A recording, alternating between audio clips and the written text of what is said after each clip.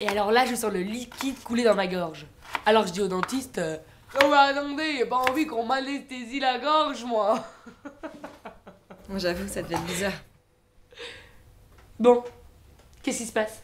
J'ai pas de nouvelles d'Antoine depuis hier matin. Oh putain de merde, c'est reparti. C'est quoi l'histoire?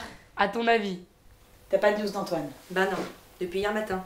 Merde. Ah, tu vois? Mais merde, genre c'est chiant, pas genre c'est grave. Ouais, mais avoue que c'est contrariant. Hier matin, quand on s'est réveillé, c'était trop bien. Et depuis qu'il est parti de chez moi, plus rien. Mais à chaque fois c'est pareil. Comment ça se fait que tu te rappelles pas qu'il finit toujours par t'appeler ou t'écrire? Oh regardez, il m'a répondu Oui, bah oui, oui, t'as répondu, oui. Ouais, t'as raison. En plus, euh, avant-hier, c'était génial. Il me faisait l'amour, je me disais, euh, qu'est-ce que tu peux être conne, angoissée comme ça tout le temps, évidemment qu'il te kiffe. Ça va être sympa de te faire l'amour. Ouais, mais y a rien à faire. Si j'ai pas de nouvelles pendant plus de 24 heures, je peux pas m'empêcher de croire qu'il va me larguer. Non, mais on est un peu toutes comme ça. Dans ces moments-là, je m'empêche même d'envoyer des textos à d'autres gens, parce que comme mon téléphone vibre, qu'on me répond et que c'est pas lui, je suis hyper déçue. Ah oui, quand même. C'est pour ça que des fois tu ne me réponds pas de la journée. Oui, bon.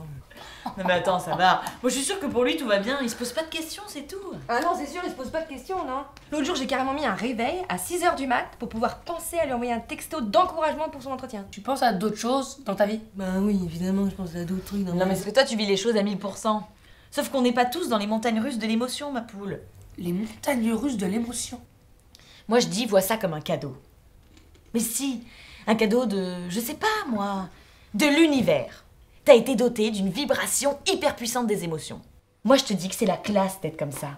T'es intense, meuf. intense. Bon, t'es qui? Bah, je suis Caro. Tu es qui? Je suis Caro. Tu es Caro et tu croques la vie. Vas-y. Je suis Caro et je croque la vie. Voilà À pleines dents Oui Je mets des réveils à 6h du mat, mais je croque la vie, putain